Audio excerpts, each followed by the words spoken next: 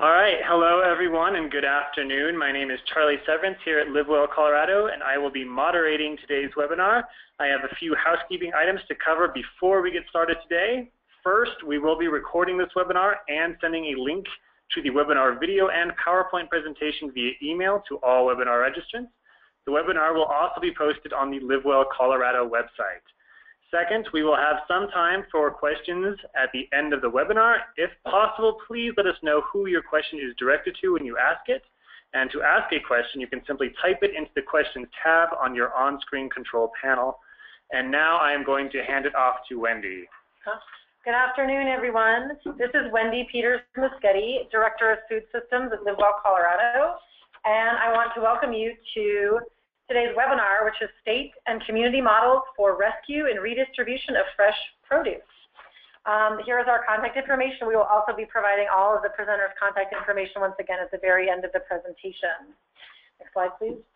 So just so you know what to expect today, um, this is our welcome right now, and we're going to have we're going to hear from three different presenters today. Uh, the topics they will address um, will be emerging issues and opportunities to address food waste. So we will just sort of set the context a little bit about um, why we're talking about food waste and food rescue today. As many of you probably know, this is a pretty hot topic right now, actually internationally. So we'll set the stage a little bit by looking at what are we knowing and learning about food waste and recovery. Then we will have um, a presentation talking about the specific role of hunger relief organizations, and then some lessons learned from Boulder Food Rescue. We'll try to leave um, at least 10, if not more, minutes for Q&A and discussion at the end. So our presenters today include these three lovely ladies. First off, we will hear from Dr. Dawn Thilmany McFadden, who has been a professor of agribusiness and agribusiness extension economist at CSU since 1997. There she specializes in analyzing markets and consumer behavior regarding local, organic, and other value-added food markets. She has served on a variety of boards and commissions throughout her career, which also include chairing the Colorado Food Systems Advisory Council, which we will mention a bit today. She also is a part of the leadership team of CSU's, CSU Extension's Food Systems Work Team. Um, after Dawn, we'll hear from Karen McManus, who is the Food Resource Coordinator at Food Bank of the Rockies, the largest hunger relief organization in the state of Colorado. It also serves all the entire state of Wyoming, I believe. Um, her role is to source food, including fresh produce, from retailers, distribution centers, farmers, ranchers, and more for distribution throughout the entire Food Bank of the Rockies service territory. Uh, prior to that, prior to working in sort of food bank hunger relief work, it is important to mention that Colorado, Karen was a Colorado organic vegetable farmer for um, 20 years. Um, and then finally, we'll hear from Hannah Dansky, who is the co-founder and executive director of Boulder Food Rescue. Boulder Food Rescue is a fairly new, it's about four-year-old nonprofit in Boulder that works to redistri redistribute healthy produce to low-income people. They do this through a participatory approach by working with low-income residents at housing sites to bring them in and make sure their voices are really integrated throughout their distribution and nutrition education programs. She's also part of Boulder County's Healthy Eating Active Living team, a team that came out of their, the county's public health improvement planning process. So um, without further ado, I am going to pass the baton to Dawn to kick us off. Thank you, Dawn. Thank you, Wendy. Um, and I, I have to start today's uh, webinar, at least my part of it, by admitting this is a relatively new topic for me. Um, we had it brought to us as an emerging issue at the Colorado Food Systems Advisory Council, and so it certainly intrigued me to learn more since it was um, on the radar of so many people. But uh, what we're really going to try to focus on today is what we've learned putting that issue brief together, including some information I gleaned that has been done in research at the national level. Next slide, please. So, um, as many of you know, one of the, the big debates out there is can we feed the world? And uh, some people have kind of turned that question onto its ear and said, well, um, before we worry about growing any more food, should we be taking a look back at the food we waste that already is produced? And so the USDA Economic Research Service um, did a study that's actually pretty recent that we drew some of these um, slides from, and we give the link at the bottom of the slide if you want to go read the full report. But what was pretty shocking, at least to me, um, and you've probably all heard the statistic by now, is that there's the estimate is that we're wasting close to a third of the food that we do produce in the United States right now, and that translates to about 133 billion pounds of available U.S. food supply that um, makes it either to the retail level or to consumers' households that is not actually consumed by um, consumed or purchased at those stores. And if you look even further into the statistics that are provided in that study, if you go look at it, the three major categories that the the estimates show the waste comes from are from the meat, poultry, and fish uh, parts of the store and households um, refrigerators, vegetables, and then dairy products. So I, I think what we found was the interesting interface here, where those are all some of the more healthful foods we also would agree we might want more of in the diet. It's not surprising they're the most wasted because they're also oftentimes the most perishable products and because um, some of the conversations we had with retailers, the inventory management of those products is sometimes um, quite challenging and labor intensive, so it makes it costly for them. So the Economic Research Service went on in that same study to estimate that the value of that food that was lost and not consumed, if you put a market price on it, was $161.6 billion if you used retail prices. But again, more importantly, for some people who are worried about food security, the idea that that's a whole lot of food that could be used to nourish um, households who are going food insecure that is instead going to no marketable use at all. So next slide, please. Um, an interesting way to look at this, and I'm an economist, so we do it this way, is also looking at some of the challenges just in the food system altogether. Um, although this graphic, which was also drawn from a USDA um, publication, shows you the different stages of the food supply chain and how all of those activities that happen between a farm gate and a retailer um, make it so that a smaller and smaller share of the food dollar is going to farmers. You could use this exact same graphic to look at how the food system has evolved over the last century and so forth, where again, farmers used to do the sales directly themselves to get 100% of the revenue. Um, whereas as now, as we have had those sophisticated supply chains happen so that we can feed urban areas and so forth, um, more and more of those activities um, are done by middlemen and happen away from the farm, and so a smaller share of the food dollar gets back to the farmer. But if you translate it to the same discussion we're having today, that's all different stages where food loss or food waste could happen as well. Um, so I thought that was an interesting way to look at it. Next slide, please. And so in um, some of the literature that's out there, and instead of just defining the problem, looking at ways that we might be able to address this um, problem with the systems approach, um, this food recovery hierarchy has been kind of developed and put forth by quite a few groups. And of course, um, the the top parts of this hierarchy then are the things that are really the most preferable.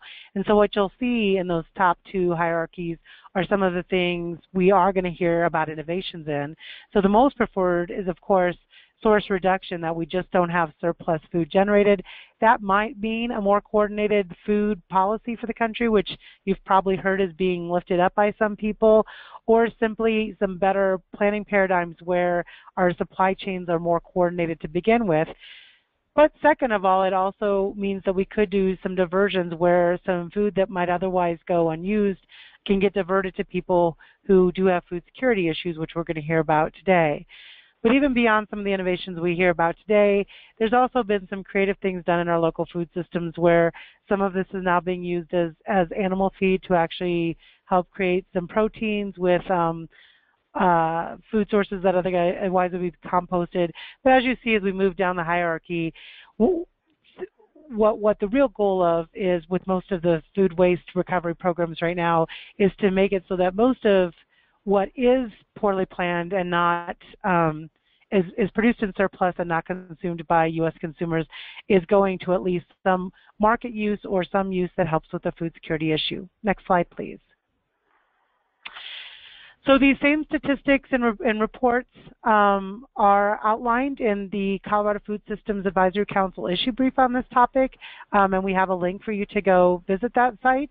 Um, just to, to put out a little plug, as Colorado State University took over um, some of the leadership with that council in coordination with LiveWell and lots of other agencies, we've decided to put that issue brief series into our fact sheet series here at Colorado State University. Um, but with that, I'm going to turn this over to Wendy, who's um, going to talk a little bit about how the rest of the webinar connects to some of the issues and innovations we raised in that issue brief. Thanks. Great. Thank you, Dawn. This is Wendy again. Um, and just um, to, to, tag on to what Dawn was saying a little bit, that the Colorado Food Systems Advisory Council um, is a governor-appointed, state-created um, advisory body. And this is just one example that obviously is very relevant to today's webinar. Um, the council has now issued um, five different issue briefs, they're called, Advancing Food Systems Issue Briefs. And so as a follow-up to this, this webinar, we will send out links to all of the issue briefs that the Food Systems Council has um, has created. And the, the setup or the structure for the issue brief is pretty much the same in every one, and that each issue brief, no matter the topic, is really set up to provide sort of an overview and a landscape of the issue at hand and what does this look like in Colorado, so what is the state of the state of the issue that is being discussed, and then to kind of move into then what is the role for the state of Colorado, and then what are some recommendations for the state of Colorado and its partners to advance this issue. So that's sort of what you can expect when you go to this issue brief. So um, next slide, please, as some specific examples. Um, one area that is highlighted in that issue brief, um, and we will hear a little bit more about today, um, is this Charitable Crop Donation Act. So this is an area that we're really hoping to sort of learn from, honestly, when we talk about food rescue and redistribution and generally how to increase um, the availability of fresh produce in community food assistance sites is we want to learn from the Charitable Crop Donation Act, which um, was state legislation, uh, passed in 2014, began, began implementation early in Jan January, actually, of 2015, began implementation. And the basic goal of it is to just incentivize farmers to more directly provide produce in a way that's financially beneficial to them to food banks and to food pantries that work with food banks. So it allows producers to receive a 25% tax credit of the wholesale value of the food that they grow themselves and then donate to Colorado food banks and their pantries. So we provided a link here um, to the, the brochure where you can go for more information. I know Karen McManus will talk a little bit more, but um, it is an example of something that at LiveWell Colorado and many of our partners, many, of, many, many of our LiveWell communities are really working to understand um, the benefits and the outcomes of this kind of policy and then what we could do to enhance this kind of policy and educate more around this kind of policy. Next slide, please. So just as another example of what you will find in the State Council's issue brief um, are, as I mentioned, sort of a series of recommendations or more considerations or potential projects that partners in Colorado could consider. So here we list just a few examples of those. Um, some of the things that we highlight include um, ways to work with food retail partners to have more imperfect produce campaigns. A lot of these mostly have come out of um, international work. Actually, most imperfect produce campaigns that we've seen thus far have been out of Europe, but there's some really very appealing and exciting examples out there of how to to market and campaign and to showcase um, imperfect produce. So you know the ugly carrots um, and the um, the sad lemon, or you know produce that maybe doesn't look so great, but is still absolutely just as healthy and just as edible.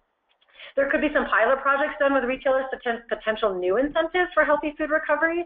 So we're also trying to work to understand that are there, is there other work we could do sort of at the store level that would incentivize and make it easier to do more more um, redistribution. Um, and you'll hear more about food recovery obviously from Hannah later today. Um, and then also there's some thoughts and ideas in the issue brief about could we even tackle some federal level policy and that the federal tax deduction, a lot of this is really decided at the federal level. And right now, the way it's set up is the federal tax deduction for food donations really incentivizes the donation of really what's just called edible foods, wholesome and edible foods, which honestly can mean pretty much anything. So if you can eat it, it's wholesome and edible. So we explore some ideas there about how could we expand that perhaps to change that incentive to be directed more to fresh product or what we consider possibly healthier food items. So just wanted to flag um, a few of the issues that you might see highlighted if you want to go read the issue brief in more depth. And I'm going to pass the baton now to Karen McManus. Thank you, Wendy. Good afternoon. I first want to thank LiveWell for the opportunity to participate in today's webinar. As Wendy and Dawn know, I love talking about this subject. I've spent a good portion of my adult life working with food, first as a farmer growing it, and now as a food banker asking for it back. So with that, let's get started.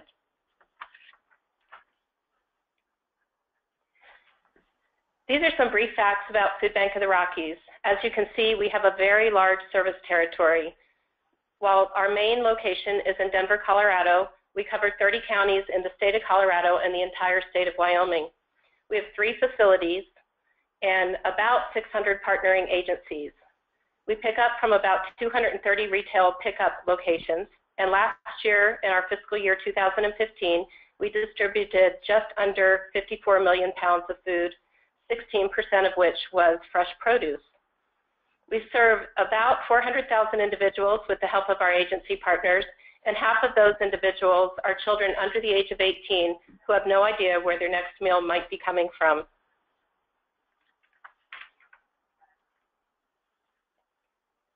Here are some of our current fiscal year goals as it relates to this webinar. We hope to increase the amount of fresh produce distributed from 16 to 21 percent. We plan to purchase produce from Colorado farmers in addition to receiving donations. We've designated a portion of each agency delivery as fresh produce, which we call our push model. We distribute more produce through mobile pantries now, and we have increased participation in the agency retail partner program. Our fiscal year runs from July 1st through June 30th, and as you can see, produce plays a very large part in our goals moving forward. The first step to achieving our goal is to increase the amount and the types of retail donations coming into the food bank and our agency partners. As it relates to working with retail partners, we have a store donation coordinator on staff that spends 100% of her time on grocery rescue with a minimum of 80% of her time physically in the stores. Most retailers that we work with have corporate guidelines with Feeding America who is our parent organization. There are about 206 Feeding America food banks across the country. These guidelines, while different from one retail chain to the next, spell out what can and can't be donated. Even though the guidelines are generated at the corporate level for each retailer, we find that many employees at the store level are either unaware of the guidelines or the specifics within them. Not only do we educate them on their guidelines, but we also spend time educating them on why donating is the proper thing to do. We view this as a partnership and express our appreciation and gratitude with each and every visit, as well as through year-end certificates, thank you cards, and appreciation events. The power of a simple thank you cannot be overstated. In my experience, gratitude truly equals success. When our retail partners are shown appreciation, we see an increase in involvement, embracement of the donation program, and ultimately increased donations. And finally, the receipting process is very important to our donors, as this is what they use for their tax credits. A receipt is generated for each and every pickup and sent to the store, as well as to their corporate headquarters and Feeding America. Something that is fairly new at Food Bank of the Rockies is placing our agency partners directly into our stores for the retail donation program. This has been a win-win for everyone. Upon identifying agencies that are located near a retail partner and have the capacity to pick up donations and to store product at their facilities, we then assign them to a particular store and make those introductions. Having agency partners pick up directly from the stores instead of our Food Bank of the Rocky drivers alleviates the amount of times the donation needs to be handled. Because agency partners are able to service the stores more often than our FBR drivers, we see the donations increase. The stores love this concept because they know their donations are staying right in the community where their stores are located. We provide equipment to the agencies for safe transport and handling, as well as weighing of donation items. And additionally, we have agency capacity grants available for those agencies needing infrastructure upgrades such as larger coolers and freezers.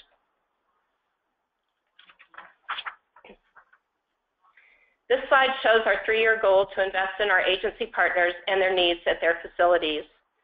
In the first year, it'll be just over $100,000 and moving up to about $300,000 in fiscal year 2018. Food Bank of the Rockies recognizes that we play a very large part in the overall success of our agencies. Aside from the partnerships with retail stores, we source produce from a variety of other entities.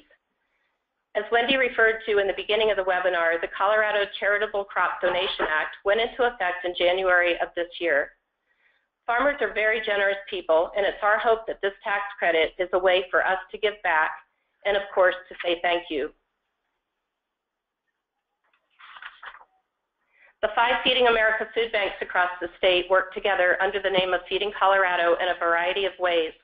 As food resource managers, we source to excess within our own service territories with the hope that we can share product, both donated and purchased, with our sister food banks.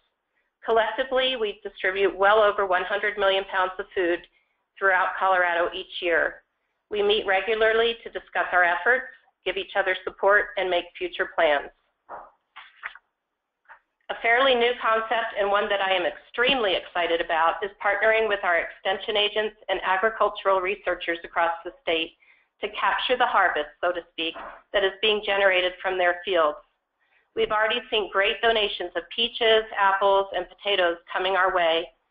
There will be a lot more to come from this project, which is currently in the infancy stage, so please stay tuned. Attending winter agricultural conferences is a way for us to get the word out about the work we do and the amount of people that are being helped across the state when it comes to hunger relief. Because we continue to increase the amount of fresh fruits and vegetables in our distributions, these conferences provide us with a captive audience and allow us to have those conversations with the farmers and ranchers directly.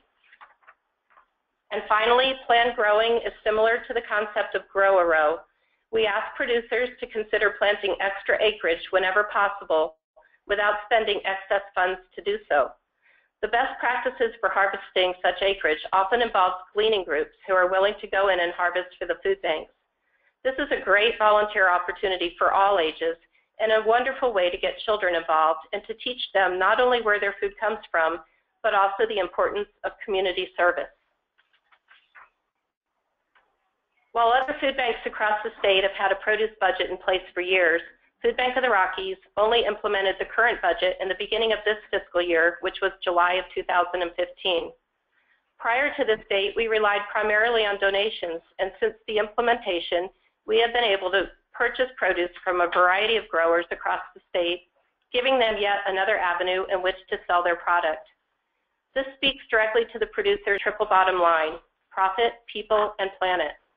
I'm pleased to say that since August 24th of this year, we have distributed 485,484 pounds of fresh produce to our agency partners, and that's just in a matter of a few months.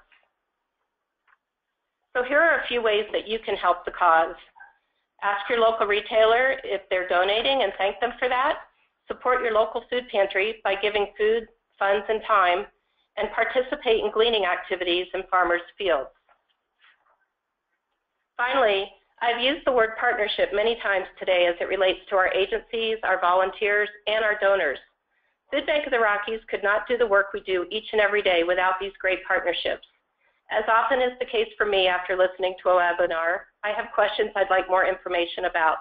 If this is the case with any of you listening today, please reach out to me. I'd love to talk to you. And thank you so much. Great. Thank you, Karen. Um, this is Wendy again. Before I pass off to Hannah, I just want to do a quick reminder, too, that if anyone does have questions for any of us, please feel free to type them in just as you think of them. They will roll in, and then we will handle them and then direct them to the correct person at the end. So as you think of them, feel free to type in your questions um, or even just comments for discussion. That's all fair game as well. So now I'm going to pass it over to you, Hannah, with Boulder Food Rescue. Hi, Hi um, thanks for having me on the webinar. Um, I'm basically going to tell you a little bit about Boulder Food Rescue, how we work with donors and recipients, and our Food Rescue Alliance network um, in the next 15 minutes. And I'll pretty much tell this story kind of by telling our story. Um, like Wendy said earlier, we're four years old, so we're a very new organization, um, and we've been operating in a pretty grassroots kind of way, um, very much based off of like evidence-based practices. Um, we started when we were it was a group of people basically that were learning about food waste, talking to grocery stores, um, talking to our local food bank community food share, um, and trying to understand why there were gaps in food redistribution in Boulder. Um, through those conversations and some research that we put together um, with community food share, we we found that some of the gaps were um, times that the food bank could operate, um, the time that it takes for the food to go from the grocery store to the food bank and then back out to recipient agencies, um, certain things like this. And so and so basically our, our idea was like let's come up with a model that that fills the gap kind of left behind here in Boulder um, and try to work really closely with grocery stores. And we created this model to go directly from a grocery store to a recipient agency um, to have produce that's more damaged, that's more perishable, um, get there. You know, something that can't survive three days can get there in 30 minutes and be put out on the shelves right away. And so that's kind of how we started. Um, very contrary to the 54 million pounds of food that Bank of the Rockies moved in 2015. We just hit a million pounds. So we're operating on a much smaller scale, um, but we're a volunteer-run organization that does our food redistribution by bicycle. Um, cool. So next slide. So instead of little uh, facts, I figured I'd put some squished up pictures in here. Um, working with retail stores. So the way that we started was talking to one store, and I think that a couple of little points to put in here on what it's like to to work with retail stores is that um, it takes a lot of persistence and it takes a lot of like calling back and really working with a manager to find a system that works best. So um, similar to what Karen was saying, they have a staff member that like this is their sole responsibility. This is like huge for doing food redistribution. Um, we also have a staff member, that's like consistently working with our local grocery stores. Um, so, you know, managers at the store, like our experience has been like very busy and um, coming in and saying like, hey, we want you to do more work in order to get this food out to the community. Um, it can very easily be uh, put aside. And so really our experience has been like once we have that meeting, then we've been successful at convincing them why this is important and really trying to make it as easy as possible for the grocery stores to want to donate. So it's like we're focused on specifically on produce, on more perishable items. We'll come every day and the way that we work with them is that we have grocery stores put um, all of their produce that they're pulling aside and then we'll sort through it. And so the picture on the right here is like a good example of one of our stores that has just like put it all out for us and we're in the process of sorting through that for them. And so that way they're not picking through every banana in the banana bunch and our volunteers are responsible for doing that. Um, another piece that we've found is that um, working with somebody in the store that knows like what's going in and out. So the receiver, for example, is a, is a good contact. So once our relationship is set up, then we have a main contact in the store, either the receiver or produce manager, who is really responsible for making sure that um, both Boulder Food Rescue and Community Food Share, in our case, um, are receiving the appropriate foods that uh, should be going to each of us and are kind of our main contact. Um, another kind of thing that Boulder Food Rescue does that's a little unique is that we're um, a little bit more, uh, I guess, flexible in that if a grocery store has something happen, they can call us and we'll show up. It's not the easiest thing to do, and it's definitely a logistics uh, thing that we're trying to figure out all the time. But we want to be on hand so that, say, like a cooler breaks or it's holiday or you know something goes wrong, then they know that they can call us and we're going to figure something out to try to rescue that extra food that might have come up all of a sudden. Um, so we, like I said, we specifically focus on produce, and um, that really enables us to uh, work within a food safe manner. Um, uncut fruits and vegetables uh, don't have like a lot of strict regulations or technical things that we have to do. Um, if we are working on prepared foods, then it gets a lot more complicated. So um, it's been really easy for us to specifically focus on uncut produce. And um, like I said, we are consistently working with the grocery stores to kind of make this as smooth as possible. And when things aren't going well, they know that they can call us. We can make sure our volunteers are showing up. Um, we're also going in and doing trainings with the stores um, and making sure that they know, you know, that we're here and, and you know where to where to put food and, and what to do on the daily. Um, another kind of interesting thing that we're getting involved in is that we were contracted out by the city of Boulder to do a food waste audit. And so we're partway through this food waste audit. Um, it should be wrapped up come December. Um, to give you, I can put uh, the food waste audit up yet because it's not published yet, but a little sneak peek. peek. Some of the things that we found is that um, education is huge. There's a lot of lack of education within grocery stores around food safety, the Bill Emerson Good Samaritan Act, and liability around the tax incentives that they can be offered if they donate food. Um, another thing is that there's a large discrepancies between managers and employees in their perceptions of how much food is going to waste. So um, there's differences from the people on the ground and the people that are trying to manage on the inside of you know what's actually happening. And so um, all of those things kind of lead us to believe that like going in and having consistent contact and doing more education at the stores um, is an important thing. Cool. So next slide. Um, on the recipient side of things, we are doing some unique things as well in Boulder. We donate about half or so of what we pick up to kind of those organizations that are traditionally thought of as um, agencies redistributing food, so like the food pantries, um, organizations that serve the homeless community, etc. So that's about that's part of what we do is we're trying to supply produce to organizations to minimize their budget and increase their uh, the access to fruits and vegetables.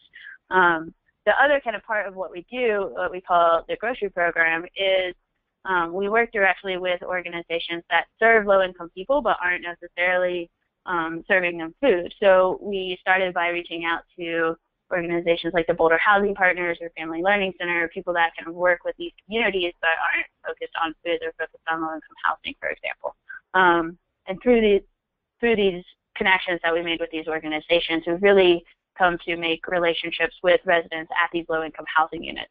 So now we take food directly to low-income housing units, and then the residents at these units are basically involved in the program by taking the food, redistributing that food out to their neighbors, and being a part of that process. So we work really closely with the individuals that are receiving the fruits and vegetables that we're donating. Um, this is an example, this picture is an example of uh, one of our sites that people kind of looking through as soon as uh, a lot of produce got put onto one of the tables. Um, what's cool about this model is that we're working with individuals that you know like building trust with individuals in order for them to really have a say and a voice in how we do things.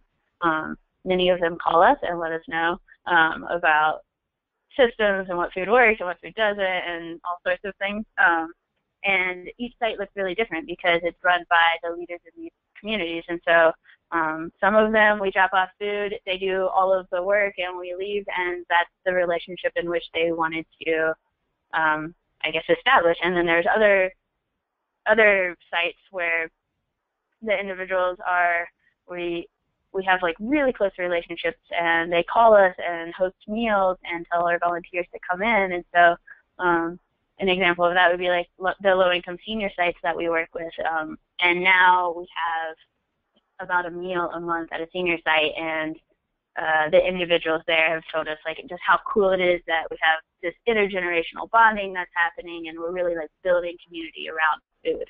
Um, so it's kind of a participatory approach where we're really working with individuals and trying to provide support on the back end to best fit their needs. Um, next slide. Is, so this is a picture, just to reemphasize that it kind of looks different at different sites. This is an individual that basically sorts all the food for people first and then has people come down and shop. So I thought that was kind of uh, a cool picture to show. So next slide.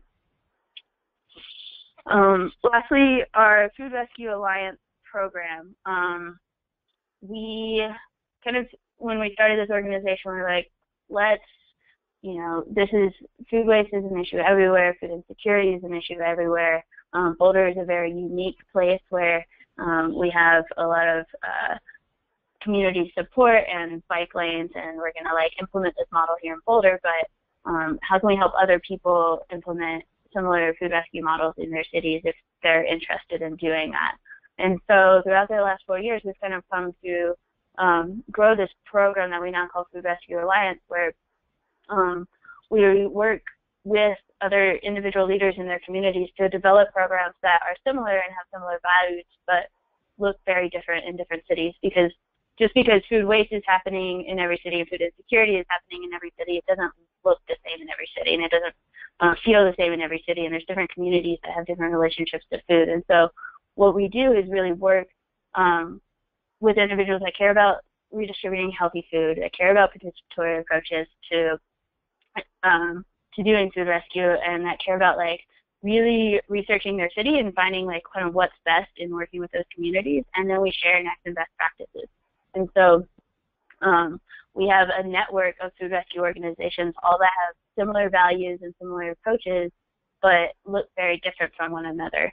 And in that, I think like the diversity of our models um, is encouraged in a way, so that you know when uh, people contact us from a city like Chicago, then it's not us here in Boulder saying like, oh yeah, you should do it exactly like we do in Boulder because Chicago looks so different.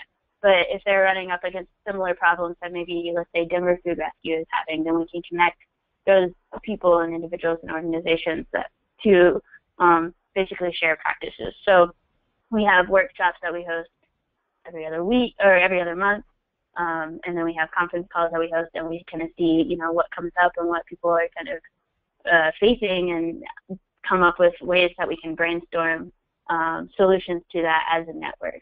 Um, we're currently working with cities in Colorado Springs, Denver, Com- Commerce City, Jackson Hole, Seattle, Managua, Nicaragua, um, Ontario, Charlotte, and um, a group in the Philippines now. So um, it's kind of worldwide, but it's a way in which that we can kind of best support each other and all um, and we're all learning from each other. It's like different organizations basically having their niches and the things that they excel at and being willing to teach each other what they excel at.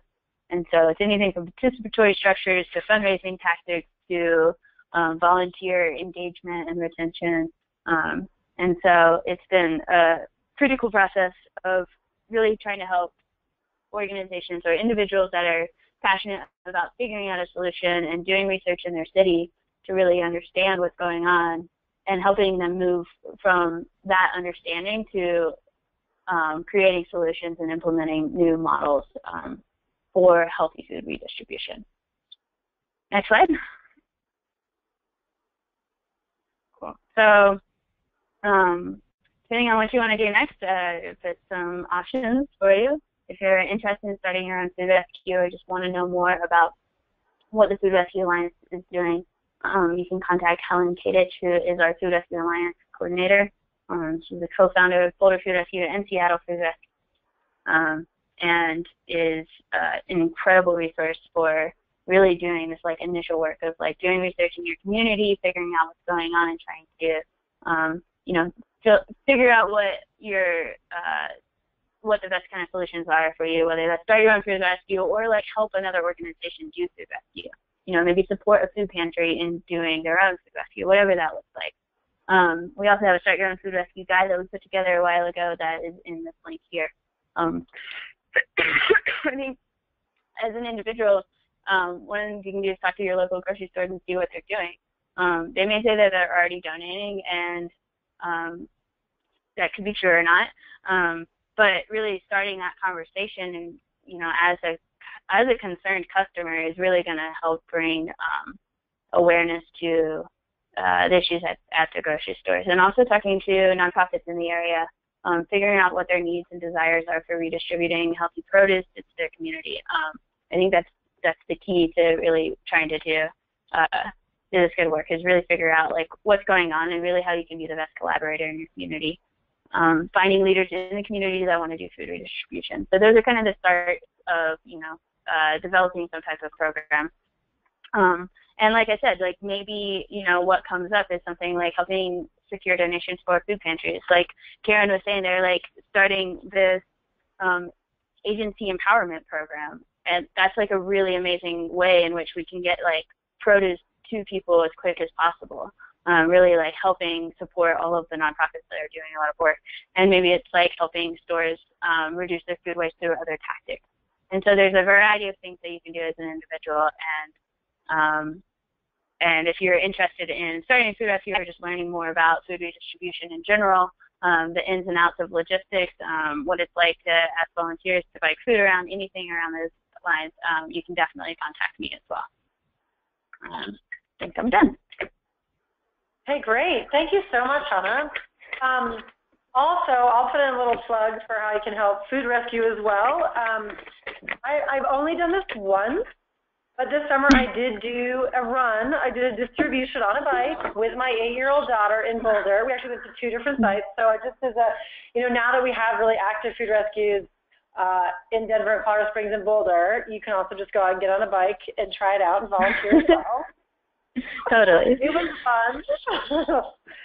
so um, I am going to open it up now to see if there are any questions. I haven't seen any questions come in thus far, and we have we have plenty of time to address any questions or comments or discussion items you have. So if you have questions, please type them in now so we can see them come in. Um, and while we're waiting for some questions to come in, I actually have a question uh, back for you, Hannah, is that um, I'm sure you get this question a lot through Food Rescue Alliance as well.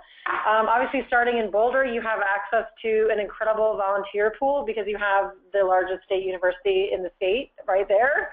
Um, so you have a lot of young and eager students. So I'm just wondering, in terms of volunteer pool, either in Boulder or elsewhere, but if you, where have you had luck finding sort of non-students? You know, if you're of a non-university city, where else have folks found luck in really accessing and creating a large volunteer pool?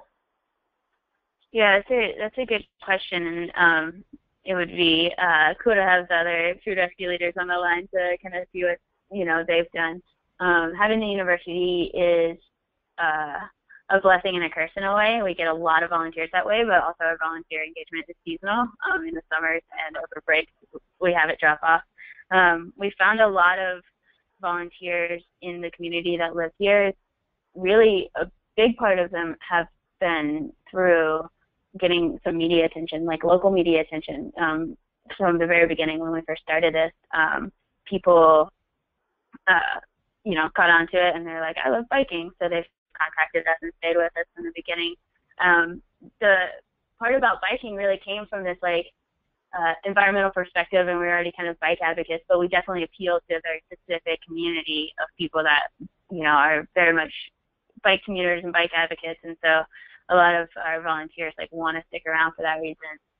Um, other ways that we've gotten volunteers, and and also part of that too is that we're very showy in that way. People see us. We're biking down the street. Wendy, you know this. You bike right through downtown, and we have you know 200 pounds of food on your trailer. Um, people see that and they're like, "What is that?"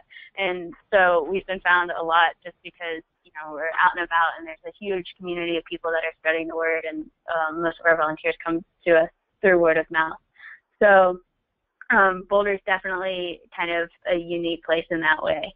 Um, I think working with other organizations and you know trying to best um, fit volunteers for kind of what they want to do has been really helpful. So um, if we have volunteers, for example, that want to come in and do like a big day where they bring in a big group, we don't really have the infrastructure to set that up. So we refer them to community food share, um, and you know they can go in there and really work in the warehouse and put in a lot of time. And so I think building more collaborations with other organizations to kind of you know fit volunteers to the things that they want to do. Um, community cycles, our local bike co-op, um, also is another resource for us to you know share volunteers and help promote each other. And so I think that's kind of been the biggest way that we've found volunteers is really just through building collaborations in the community. Great, thanks. And um, we have a lot of great questions coming in. I'm excited to try to get to all of them. And Hannah, one quick question right back to you before I move um, to our next question is, will everyone be able to get a copy of the food waste audit? Will that be made public when it's available? Yeah, so we will publish that and make it public, and I can send it to you, Andy, and you can send it out if people are interested. Perfect. So that can be not an immediate follow, but we can send that out um, through all of our networks and to webinar participants as well. So we had a question come in about um, a comment too about that there's huge environmental issues around food waste, and then a question: Are there environmental organizations? Are environmental organizations potential allies to help exp help expand this work? So one quick comment that we didn't flag, but we can certainly follow up with resources, is that nationally, federally, uh, really a lot of this um, leadership is coming out of the EPA, out of the Environmental Protection Agency. So um, they have been doing an increasing amount of work, getting the federal government to make pledges, you know, to decrease food waste, and pushing a lot of resources at the national and the regional EPA level about how we all can sort of address food waste issues um, ourselves, not just organizationally, but um, residentially as well. So we can certainly share some of those resources as a follow-up today. But then also, um, I want to kind of open that back up to our presenters. Do you, Karen, do you have any thoughts or experience on that in partnership with environmental organizations? Um, thank you, Wendy. Yes, um, I have people call me regularly that are working with those types of organizations, and mostly what we discuss is composting and what we can do, because even at Food Bank of the Rockies, we have food waste, and while it is very minimal at our food bank, it is about 2 to 3% of the overall amount that we bring in, and we struggle with what to do with that. Composting is very expensive. So we've had uh, most recently people that are doing studies in the environmental arena to um, find out what other creative ways we can use this food waste, whether that be for animal feed, um, a variety of different ways. So yes, I think that that, that uh, they are great allies to our cause, and I would encourage more of them to reach out to us. Um, and Dawn, just is there anyone else or any other agency or partnerships that we failed to mention sort of on the environmental side? Um, I was trying to think if I've seen any anything pop up, but you know, I've I actually was surprised that EPA was the one who I have seen be the most visible here. But I, I don't believe that I have seen this become a, a new push for, you know, the Natural Resource Defense Council or anything. So if I find something, I will make sure we get it in our CSU Food Systems newsletter. But I actually have not seen. I, definitely think the question is framed right. I think we should be developing allies in in that sense, um, but I don't see that it has happened yet. Mm-hmm. You actually did remind me that the NRDC actually did come out with a, public, sort of a study and a publication looking at some data around food waste a couple for years ago. Um, I don't know if that's been updated, but we can certainly send that out as well. Um, so I just wanted to acknowledge a comment that came in that sounds fabulous. So there's an emerging partnership between Groundwork Denver and Denver Food Rescue. Um, working on a phone application for people who have extra produce. So kudos to that new partnership. It sounds fabulous. Um, and then a follow-up question was, um, how can we increase public access to canning, jamming, jarring, and generally, generally preserving local food for the winter? So you probably all have answers to that, but Karen, I'll start with you, what you've seen. Well, I would say that one of the um, great leaders in the Denver community is Produce for Pantries, Dana Miller's uh, organization, and I would encourage this, per, uh, this person to reach out to Produce for Pantries. Not only are they doing great work uh, sourcing and rescuing food from backyard gardens and everything else, but they are um, just a great resource overall, and I bet that they have some good answers for this. And Hannah, have you do you have local partners that you have worked with that are, are focusing on sort of the food preservation training and capacity building for residents? Um, not on a large scale. We've done like a couple, you know, um, food preservation workshops here and there over the last couple of years, but nobody that I know of in Boulder is doing like um, a lot of education around this um, in particular. Yep. Um, and I had, this is Karen again, I had one other comment on that. Our uh, Palisade location, which is on the western slope near Grand Junction, we purposely uh, looked for a facility in Palisade to take advantage of all the fruit that is grown there we were awarded a grant to purchase three very large industrial food dehydrators, and we have a full-time employee with volunteers that are using that uh, 40 hours a week to um, dehydrate fruit that we bring in from our western slope growers and pack those into our Kids Tote program. So if anyone wants more information on that, I know we recently hosted a Live Well group, and we've had a lot of excitement and energy from that uh, tour that we had. I am happy to supply any information. Great. And we will also, in a follow-up, we'll send out links to Produce for Pantries, which Karen mentioned. Um, we can send, send links out to some canning preservation sort of capacity building classes that we know about. Dawn, do you have any other thoughts about public access for canning and jarring and food preservation resources?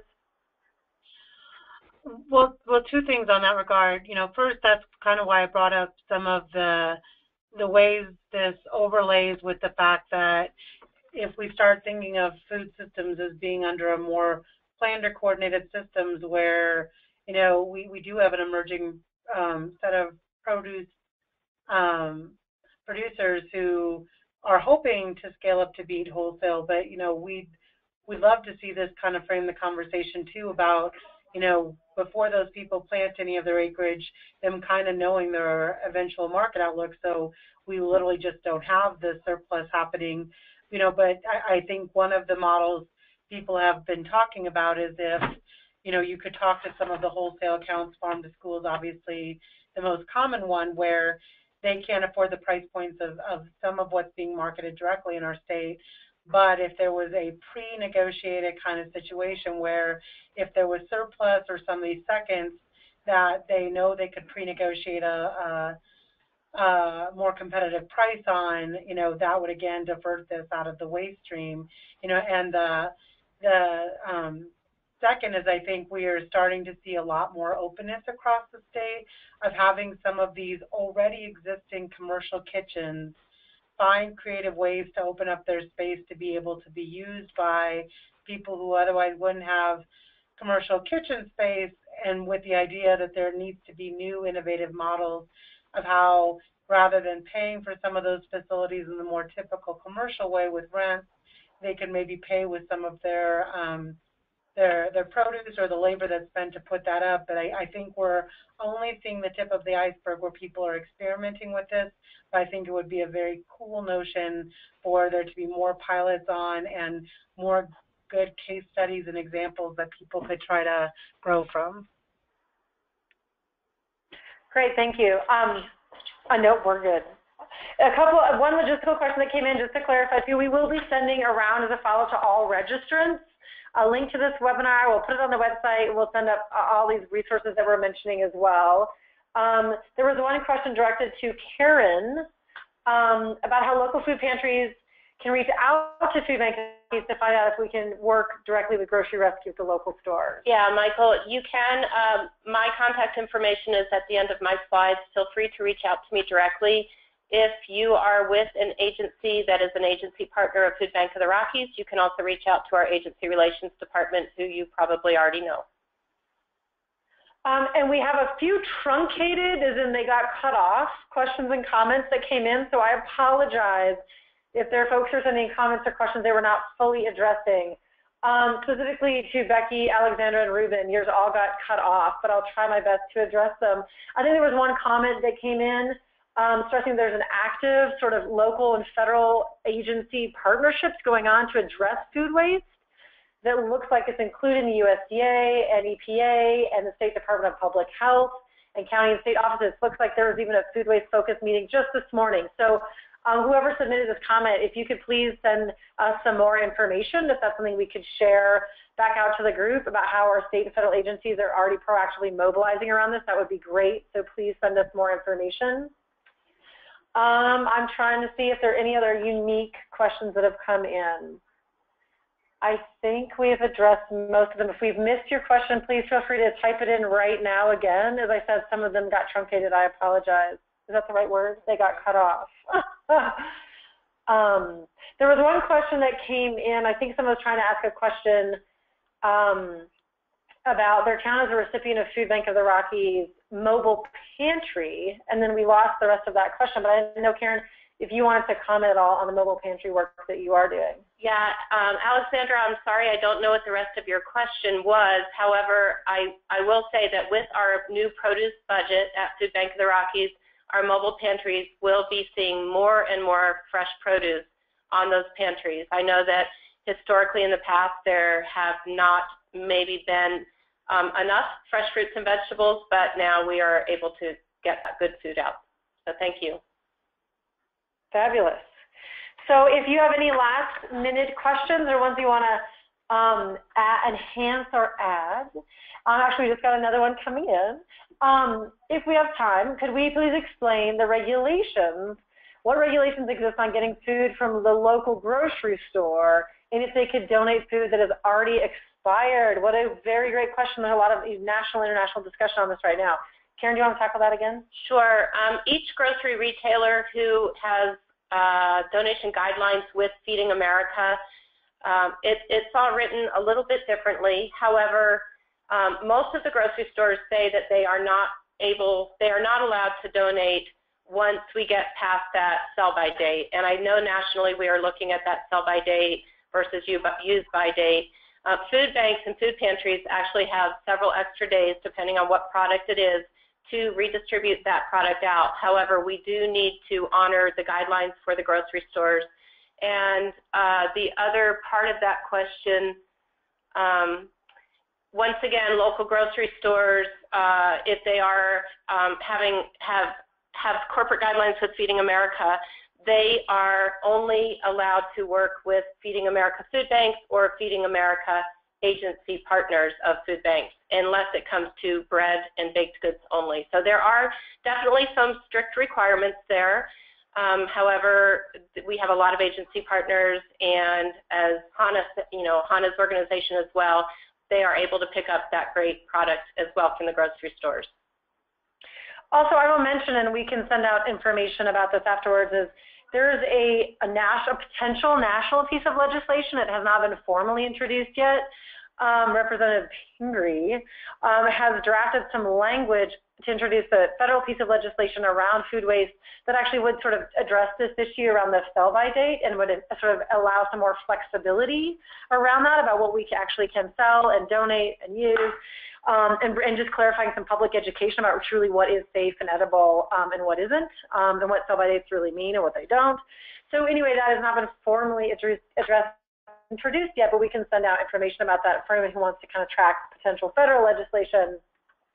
Um, and then we did get a bit of an update about there is a, a forming and an open group that really wants to work on local and regional um, action around reducing food waste. Um, that includes both, it sounds like, public and private partners. Um, and they've talked about sort of the USDA new sort of food waste reduction goals. Um, and um, also meant, uh, they just sound like they discussed Pingree's new bill. So EPA is currently hosting the meetings for that, and it sounds like a lot of folks that we talked about around the call today have been a part of that. And we will um, be following up with more information about that and how to get involved. So I would, if you could move to the next slide, please, and please, you know, keep, if there's any last comments or questions, roll in with them or requests. We can still see them as I'm wrapping up here. Um, there is our presenter contact information. I apologize, we could have been floating that instead of the questions. Um, so that's our contact information. Again, you will receive this, this um, PowerPoint as a follow-up. Please feel free to contact any of us with questions. And then the last slide is just a, a call out to our next webinar. So for those of you who I assume you did receive the, the invitation for our three webinar series, so this past Tuesday, LiveWell Colorado hosted a webinar that looks more um, at connections between healthcare industry and food systems, and specifically showcased some models. Um, in Pueblo, they're doing a fruit and vegetable prescription program. So that was our Tuesday webinar. Um, we can send out a link to that webinar again um, when we follow up from this webinar. And then the third in our, our food systems, sort of our late fall, early winter food systems webinar series, will be a January webinar. We'll give you all a holiday break. Um, that will feature Dawn Thilmany McFadden again um, and Shannon Spurlock from Denver Urban Gardens. They will be showcasing another issue that has been highlighted in one of the State Food Systems Advisory Council issue briefs, which we will also send a link to, and this is specifically on water. So January's web webinar will be Preparing for Food Security in an Age of Limited Natural Resources, a focus on water. And they will highlight some um, emerging opportunities to look at the reuse of reclaimed water and using reclaimed water um, for use on edible crops. So please uh, join, register for that webinar. Join us in January. Have great holidays until then, and we will follow up very soon with so many resources. Thank you all for participating. Good afternoon.